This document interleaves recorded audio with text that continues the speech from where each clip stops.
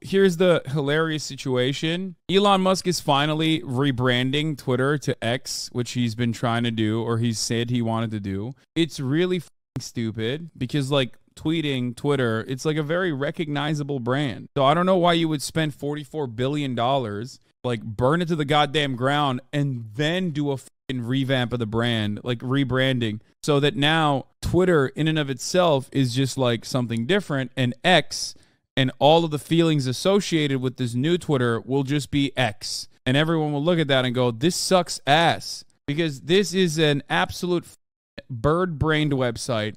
It's always been kind of bad, but at least there was like something funny in the sea of awful content that you got. Now it is officially turned into a website where everybody's like shilling cryptocurrencies, bots are out of control, or real human beings are behaving like bots all the goddamn time as well. Everyone's trying to sell you an NFT project, a cryptocurrency project, a way to fucking make money, or their OnlyFans in the replies of every single goddamn person.